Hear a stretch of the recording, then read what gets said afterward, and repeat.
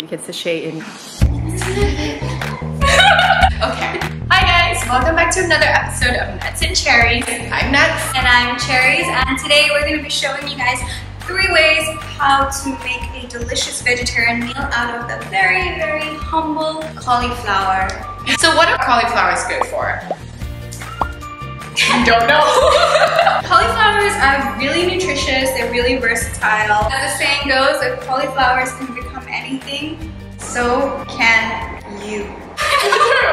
Believe in yourself. This is also a motivational cooking show. this is what we're all about. We didn't ask for it, but we're giving it to you. They're basically really good for you. Okay, first up we're going to be making kampung fried cauli rice. This is a healthy take on a very delicious Malaysian comfort food. It's one of my favorite things to eat of all time. I love fried rice. So I'm going to show you how to make this version. Okay, you're gonna start by grabbing two cups of cauliflower, cut them into more manageable smaller pieces and throw them in your food processor. Blitz on medium for a few seconds and be careful not to blend too long. We want the pieces fairly big and rice-like in texture. For a better texture, you can dry out your cauliflower at this point in the oven for 10 minutes at 200 degrees Celsius. Meanwhile, blend 2 tablespoons of dried anchovies, 1 teaspoon of salt, and 1 tablespoon of nutritional yeast. Set that aside and then let's make the frying puree. Puree half a medium onion, 1 shallot, 2 garlic cloves, 4 bird's eye chili, 1 tablespoon dried vegetarian anchovies. You can also add in some water to ease the blending. Once it's smooth, it's ready for frying. Add 1 tablespoon of cooking oil into a hot pan and pour in your puree. Saute on medium till it's golden and browned. Then add your cauliflower rice and mix to combine. After 1 to 2 minutes, make some space and crack 2 eggs into the pan. Scramble the eggs in the pan and then combine with the rice. You can now add in 2 tablespoons of grinded up vegetarian anchovies anchovies, and depending on the saltiness of your anchovies, you may want to add more salt to your liking. Now add half a cup of chopped up long beans and saute for 15 seconds. Finally, add a handful of kangkong and saute for a further 15 seconds. Plate it up with a mold and serve it with a side of chips to make it look super restaurant quality. Also, a side of sambal never hurt nobody, so there you go. Okay, let's see what Nat says about it. Guys, this tastes amazing. Wow. There's no fish in here, but I kid you not, it really just tastes like there's fish. I almost don't notice that it's not rice. This is delicious. This is so good. Recommended to try, guys.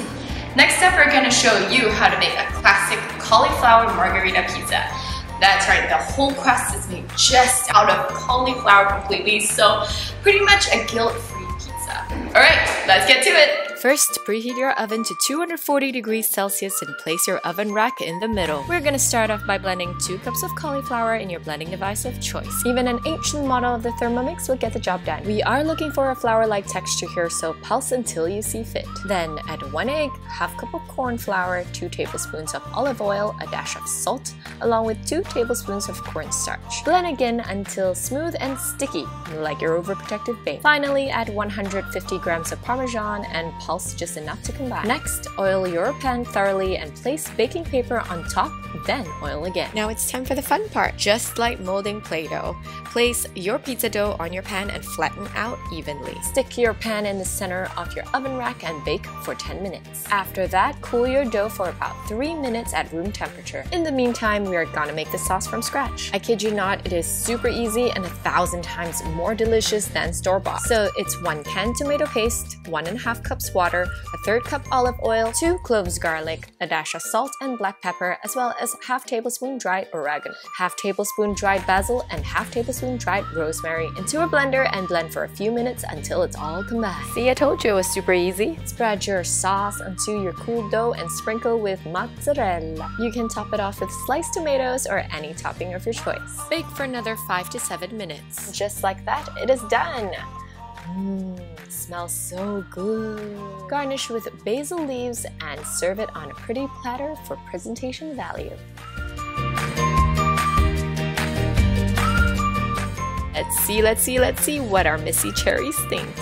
I have never had cauliflower pizza before ever in my life. It's definitely not pizza, but if you're craving pizza and on a diet, this totally would hit the spot because tomato sauce is really good. The low-fat mozzarella is really yummy. It does kind of taste like cornbread, but I like cornbread. Yeah, it's a pretty good pizza base. Look at it. Really, really yummy. And finally, we're gonna show you guys how to make some buffalo cauli wings. They're delicious. They're basically like buffalo wings but made with cauliflower. It's a little bit healthier, so let's learn how to make them. Before starting our prep work, preheat your oven to 190 degrees Celsius, and then start by breaking up 3 quarter of a head of cauliflower into bite-sized pieces. The pieces should be mini drumstick sized like this. Next, prepare the coating. We need buttermilk for this, but if you don't have it, you can make your own by combining the juice of half a lemon with 3 quarter cups of milk. Let it sit for 15 minutes. Add 3 quarter cups of flour into a large bowl and to that add 1 teaspoon of paprika, 1 teaspoon of onion powder, 1 teaspoon of garlic powder, and 1 teaspoon of salt.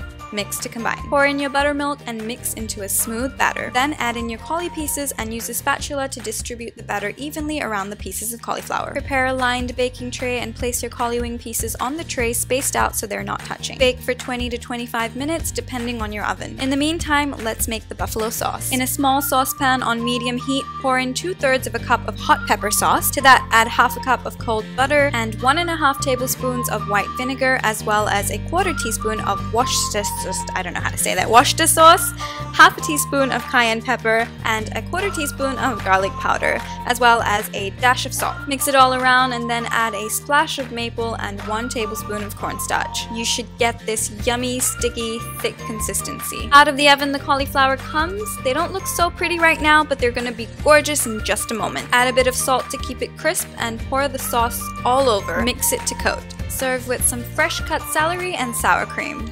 Ah, would you look at those golden orange beauties? I kind of want to bathe myself in that sauce so I'd be just as beautiful. Okay, enough daydreaming. Time to feed Nat. Mmm. Oh my gosh. The flavors is super yummy. Obviously the texture is not a chicken, but it's soft and with a little bit of crunch. Mmm, it tastes like a really tender chicken actually. The flavors, it's a really, really good snack. Mmm, so yummy! Mmm.